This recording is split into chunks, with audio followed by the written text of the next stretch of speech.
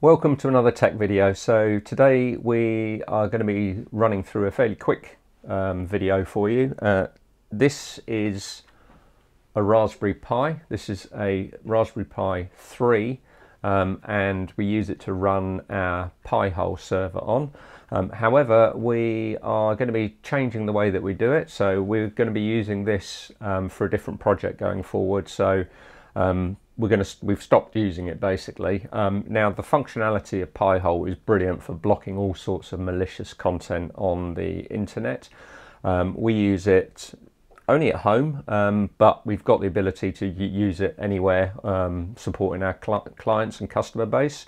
Um, we use it for blocking malicious content. Um, we don't use it for blocking ads and things like that. It's purely for malicious content to make sure that actually um, wherever the family are surfing on the internet, um, they remain protected. They don't go to malicious uh, websites or anything like that. Um, however, we're going to stop using that because uh, that's for another project and we are going to be installing Pi-hole on our QNAP server that we've got here. So we use a QNAP for a couple of things. So um, we use it for serving media content throughout the home using Twonky Media, which is a media server. So that's a way that we can share all of our videos and our pictures um, from holidays and things like that throughout the home. So it can be picked up on any of the TVs. Um, but we also use it for backups of all of the systems here. And we also use it for um, uh, sort of long-term storage for uh, for various bits and pieces. It's um, a TS251, so it's a two-bay NAS system um, running in RAID 1, so it's 10 terabytes of storage on it. And we're going to be utilizing that to install Pi-hole, and we're going to go through the steps that you need to do or to follow to enable you to use your QNAP server with um, Pi-hole and take advantage of blocking malicious content and adverts and whatever lists that you decide that you want to block using it. So without further ado, let's run through the install process. Okay, so once you've logged onto your NAS system, the first thing that you want to do is we want to go into our App Center. Um, if you've not got the icon on your desktop, then you can find it via the main menu on the left-hand side here. We're going to go into the App Center and we're going to install um, something that's called Container Station uh, and that is under the Utilities menu on the left hand side. So as you can see here we've got the Container Station utility and we want to click on Install to get that installed and it will then prompt you where you want to install it on your system. So um, you can create a separate um, storage area, uh, a separate volume if you want to, um, but we're going to be selecting our system volume. Uh, we've we've got a, um, a TS251 Plus, so it's a two-bay NAS uh, running in RAID 1, and um, we're going to just be installing it on the system partition. So you select the partition that you want, and we're going to click on OK to install that. This will take uh, sort of three or four minutes to uh, completely install. So first of all, it will download the software and then it will um, install it. And up in the top corner here, you will see that the task is running and you will also see it in your App Center. It will show you the progress of the installation. Okay, so once that's installed, you will see um, on your desktop, you should now have a separate icon. So we can either click on open here or you can close the app center and then you can click on the link that will be on the front page. So what are we going to be installing? So we're going to install Pi-hole and it's the uh, official repository and there's a couple of steps that we need to run through first of all.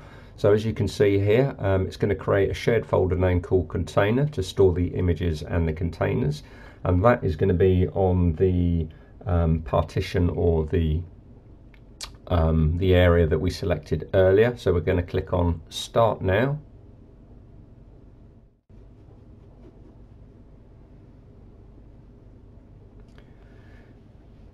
And as you can see, it will start the uh, container station after creating the relevant container shared directory. Um, and what we're going to do is we are going to click on create because we're going to create a new um, a new Docker image in the container and we're going to search for pi space hole. And it's going to bring back a few different selections. So we want to select the um, official repository or the, the official Pi-hole Docker image from Pi-hole and we're going to click on install.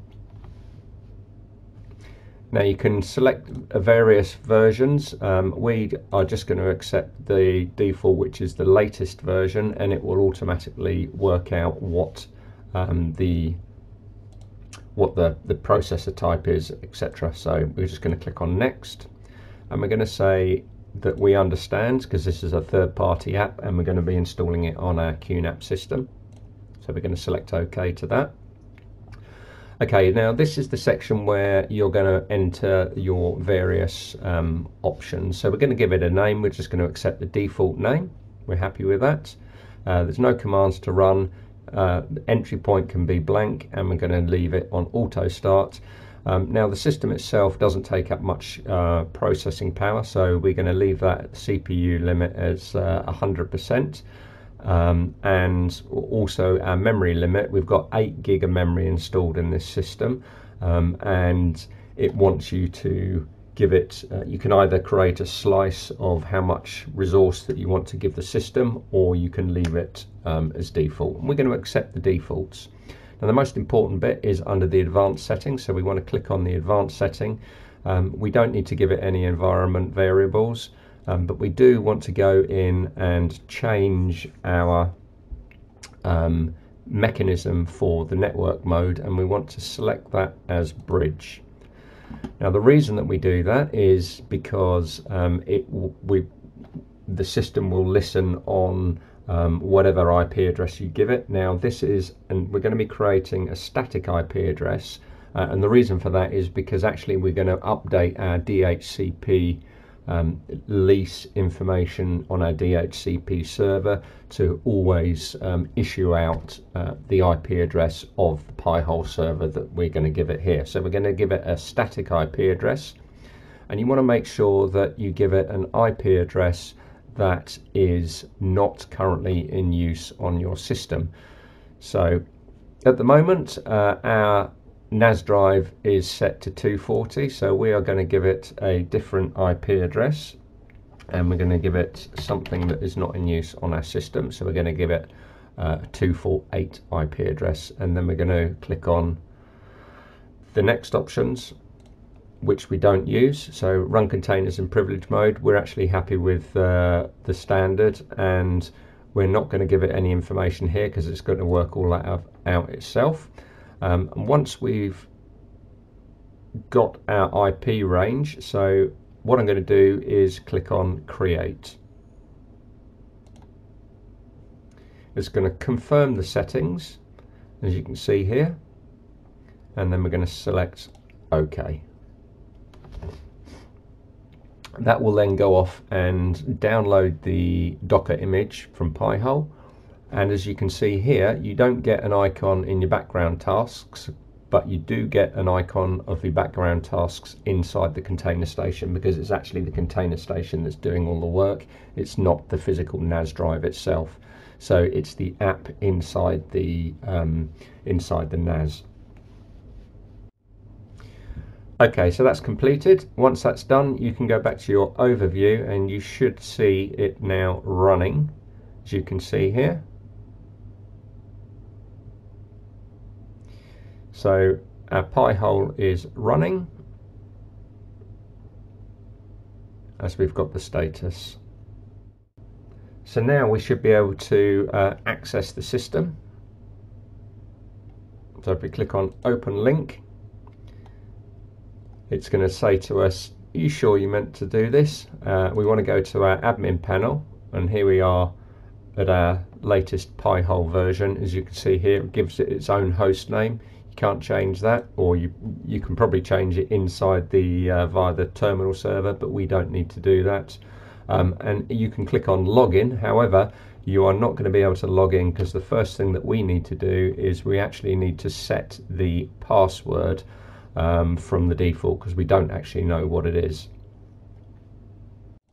Okay, so um, let's go back to our container station and what we're going to do is we want to go into um, our container station and we actually want to run a command so that it uh, we actually want to run the command that then tells the system to um, give us a new password so we're going to set the password. So we want to click on the terminal icon just here. And we're going to give it a command and we want to run the following command pi-hole minus a minus p and that should give us a prompt and there we go you can see up the top here that actually we're now going to be setting a password for the pi-hole system so you want to type this in twice.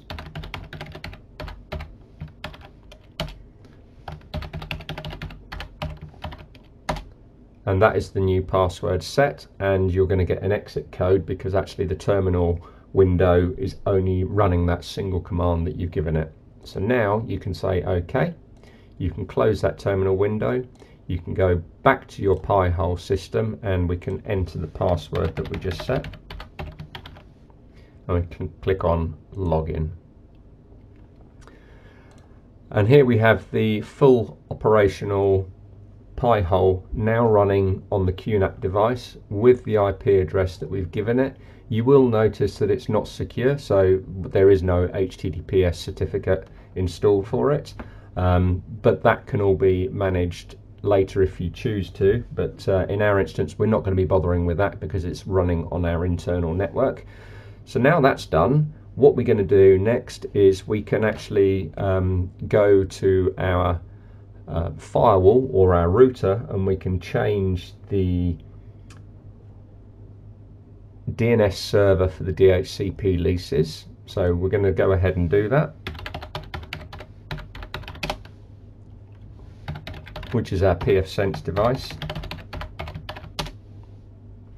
and to update the uh, DHCP server on your system if you're running pfSense. You can, whatever your system you're using, it will be slightly different from this, obviously.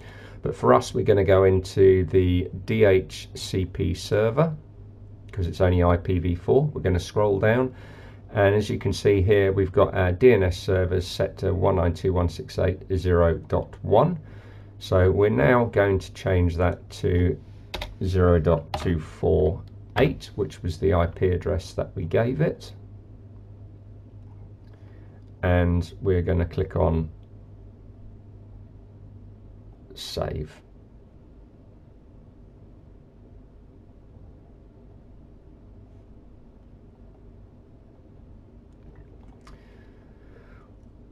Right, so now we can double check things. Um, as you can see here, we've got the um, DNS server saved. So now we should be able to go back to our system here.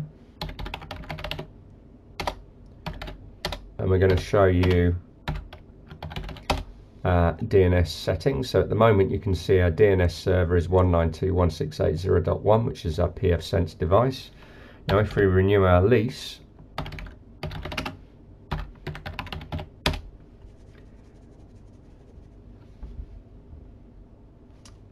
we should now have our different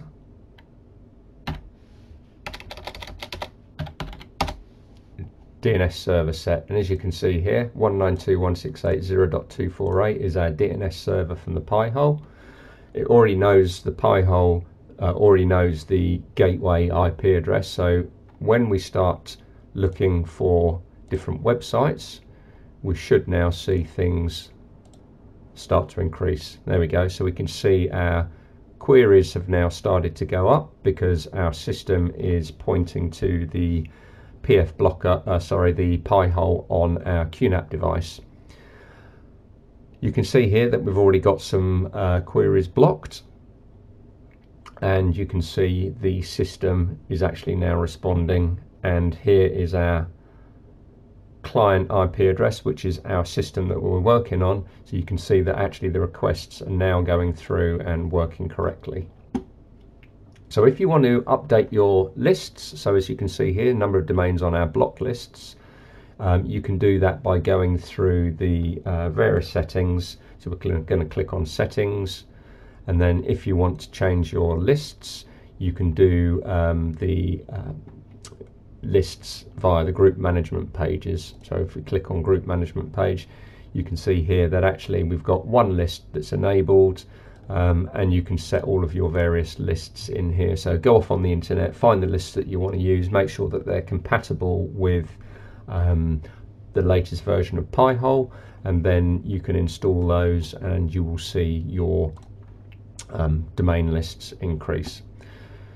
The graphs will build up over time um, and obviously all of your services or all of your devices on your network will start using your Pi-hole server on your QNAP device. So that's all there is to it. Um, if you found that video useful, give it a thumbs up. Don't forget to subscribe to the channel and we will see you in the next one. Thanks for watching.